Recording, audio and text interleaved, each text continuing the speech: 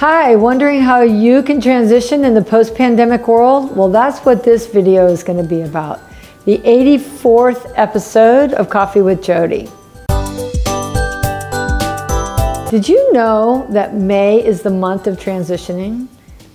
It's the month where the rain has happened, the flowers are in bloom, the birds have begun singing, and life is just a little bit more joyful. Well, May is the modern version of the Old English word maros, which is ancient Greek for growth. So May is the month of growth. During May, we celebrate Mother's Day, Teacher's Day, Memorial Day, International Workers' Day, Small Business Week, and my favorite sports event, the Kentucky Derby. So many wonderful things to celebrate in the month of May. And isn't it interesting how this month of May is lining up to be the transitioning into a post-pandemic world? Last week we got the new CDC guidelines for people who've been fully vaccinated. You no longer have to wear a mask out in public.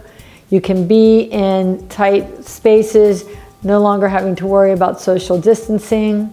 Of course, we have to follow the federal, state, local rules and regulations and those that are in businesses and workplaces, but we're now free to re-engage with life as it was before. I don't know about you guys, but I find that I'm still a little bit unsure.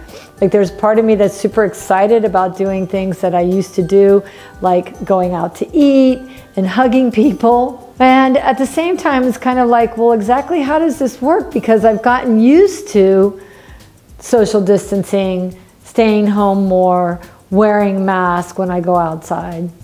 So I think there'll be a little bit of a transition for people. And I find that my, I'm included in that group of people. Like just exactly how do I want to go about re-engaging with life um, post-pandemic.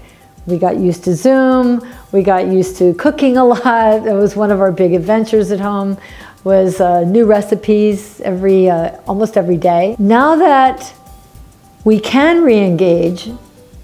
How do we want to re-engage? One thing I'm sure about is that people are chomping at the bit to re-engage with life again. I find myself saying, I'm fully vaccinated when I go to hug someone or when I go to a client meeting or even when I'm out walking my dog. And some people are thinking about, I don't know that I want to go back into the way that I was living before the pandemic happened and I had the opportunity to really focus on what matters to me. So some people will be changing careers or retiring or starting businesses of their own. That level of uncertainty has had people come inwardly focused on what matters to them. So as you consider transitioning back into this next stage of economic growth, how do you want to do it? Get clear on what it was that didn't work for you, personally and professionally. Then think about what do you want your days to look like? What are some steps that you would need to take in order to have that be realized? Maybe it's small incremental steps. And then what resistance do you find within yourself and within others so that you can address it and let it go or dissolve it? As we consider what we want our lives to look like going forward, I invite you to really carefully think about this and then capture it. Either capture it by writing it down or creating some kind of a visual display that calls you powerfully into action.